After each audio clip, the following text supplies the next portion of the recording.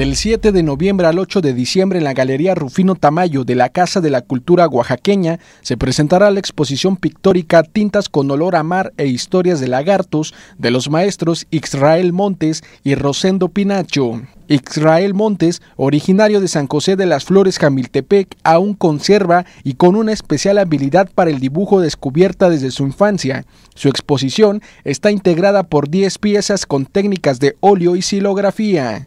El lagarto es su tema principal por ser un animal histórico sobreviviente de la gran catástrofe. El lagarto, fíjate que es un animal, bueno, independientemente que soy de la costa y que es recurrente encontrarse con estos animales, es un concepto de, como tal del animal que, me llama mucho la atención, ¿no? Es un dinosaurio viviente, es un animal que es un sobreviviente este, de, mil batallas, ¿no?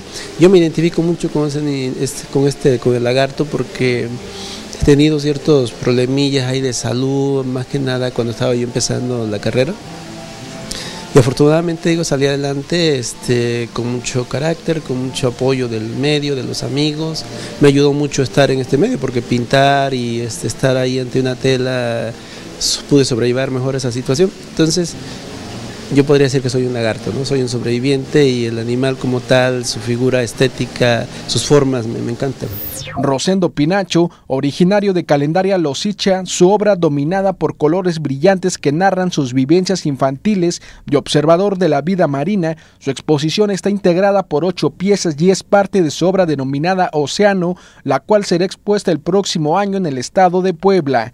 El mar es su tema principal ya que desde niño ha estado presente en su vida y carrera al pintar lo que vive y hace en el océano. El mar siempre ha estado presente desde muy niño, o sea, siempre he tenido la... he convivido con el mar, ¿no? Entonces ha sido una constante en mi obra desde, desde muy temprana edad, ¿no? Desde que estuve en, empecé en Bellas Artes hasta ahorita, hasta la fecha, siempre ha sido una constante que ha ido variando, ¿no?